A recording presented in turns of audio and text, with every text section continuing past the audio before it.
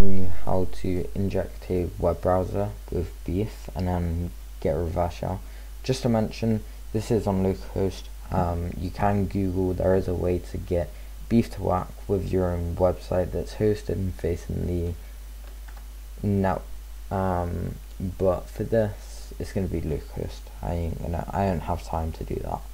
Unfortunately, I'm dealing with some legal stuff. Anyway, enough of that. Let's firstly, you want to go hdub.html.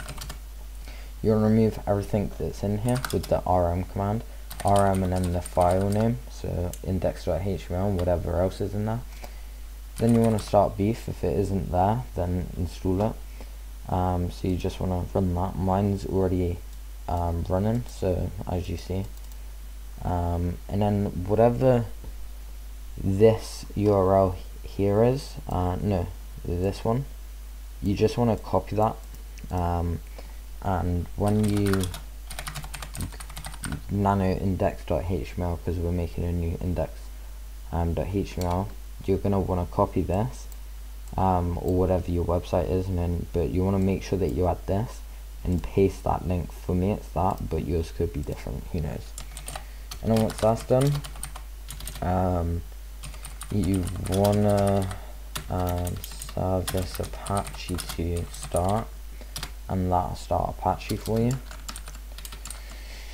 Now um, that's done so that's practically all. You want to head on to your browser and you want to go um, here 3000 slash UI slash panel I believe it is yeah. So by default the username's beef and password's beef but it should have prompted you when you started beef to change the password. Um, so I changed mine to root. I was trying this earlier so don't judge I was messing around trying to get you the best content.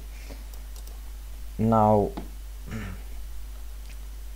what we're going to do is we are firstly going to get persistence. So remember if you don't know your PC IP type IP config. It'll be if you're in the UK it should be 192.168. something dot something something maybe another something.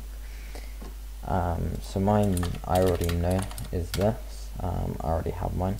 And it says welcome to beef. What's a freeway handshake? Lol. We inspect this this is the index.html if you remember. If this was your own website you'd want to sneak that in somewhere. Um,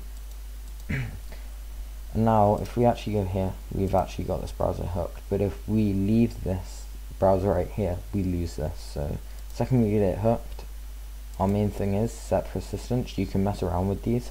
But for this video I'm just going to execute this. And as you see down there we do that.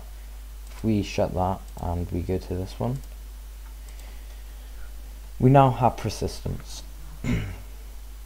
Um, you can go ahead and look around social engineering and stuff. Um, you know we can do quite a lot um, text to voice um, you know. I actually had that but you know I'm joking I didn't really hear it but yeah. Um, anything that I play you won't be able to hear. Um, but anyway you've got all of this stuff you can mess around with. Um, it's kind of endless so here's what we're going to be interested in. Um, so firstly we're going to obviously create a payload. So I would create it in the var www slash html file just because it's going to be in here anyway. And it's not msf console. Okay the hell? Alright it's msf venom minus p and if you're doing Windows just Google a cheat sheet but because I'm doing Linux because I don't have time to set up a virtual machine um, I'm going to be doing it here. Just remember you're just customizing what I'm showing you if you're hosting your own website you got to do that but that is a whole different video if you're doing this on a Windows machine just Google MSF Venom Windows payload cheat sheet and it'll give you it right away. Um, Linux slash 8 uh, x64 slash meter preter vas underscore tsp. The L host equals to if you report forward in this, um, it would be to your router's IP if that's what you port forwarded on. Although I don't recommend that because if it's an exe or any kind of file really, it's most likely gonna get decompiled at one point, and that kid will probably sit there going, "But you're getting DDoS, man," But and then there you go, GG's. Um, so yeah, and then you want to select your L port, um, minus F for file type. Uh, it's going to be an ELF, and then we want to specify. You could specify a directory here, so like uh, var debug, but we're already in there, so we're just going to drop it as update.elf and that should do that. Oh, I didn't mean that. I meant that. Um, we go into MSF console.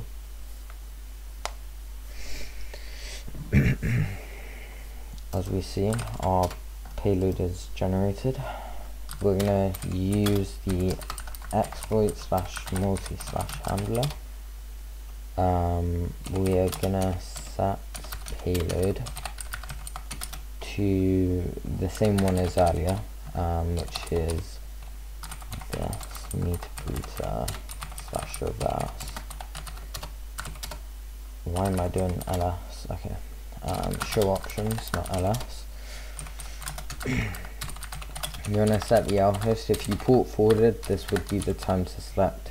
Say if you port forwarded your VM's IP, you would put the VM IP in here, or whatever you port forwarded. I don't really know what you've done so and then the L port the same port is up here and then we just want to click run and by the way I'll enlarge that for you now I, yeah there you go that's enlarged so that's what you really want to do I'm gonna not enlarge that anymore so yeah that's now listening so this is the listener that's the payload now we're gonna drop that with a bit of a social engineering attack. So I actually, even though people don't want to see this, I want to show it. Um, even this is our persistence, but like I said, there's other ways of getting persistence. We want to go, we could keep this, but um, slash update.elf and then we'd do exactly we'd do that, yeah, that's fine. And as you see it comes up magic and we install the missing plugin and we get an issue. Okay that isn't an issue um, okay we'll do 0 0.0.0 um, 3000 slash I think we just lost our payload. I meant our hook.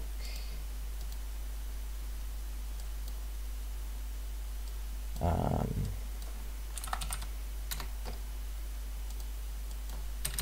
I can actually change that. Okay, that's not an issue. Don't panic. Don't panic, boys. We'll just have to edit this a, a tiny bit social engineering fake um, not that and we're just gonna change that and hopefully that should work Jesus Christ okay that's what it's gonna look like. No okay the okay okay. Um.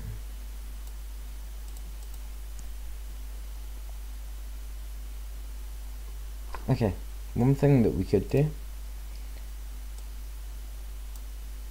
uh, we could run this, so if we execute that, we'll see this, this website wants to run, that's fine.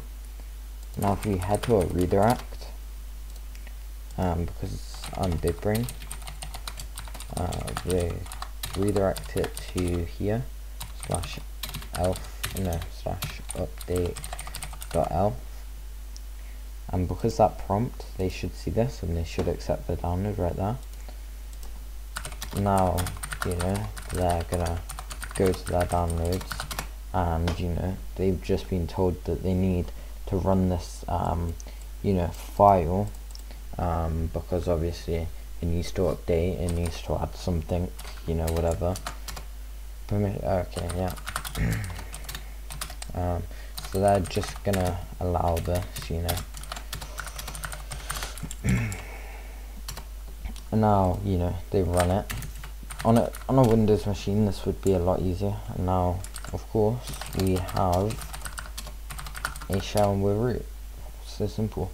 So I hope you enjoyed that video. Um, like I said this was mainly social engineering this isn't really you know them visiting your browser and then you getting a reverse shell um, that's probably could be done with autoprone um, auto browser prone um, but their their browser has to be vulnerable to a certain exploit and that's quite an old thing and I doubt there's any new exploits um, and nowadays on there. So yeah.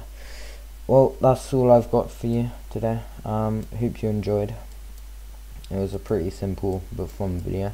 Um, like I said if you really want to do this seriously make sure that you have a domain and you know just do some research into it. I've just shown you the basic concept so you at least know how to you know create a shell. You know how to use the basics of um, beef you know stuff like that. So yeah have a good one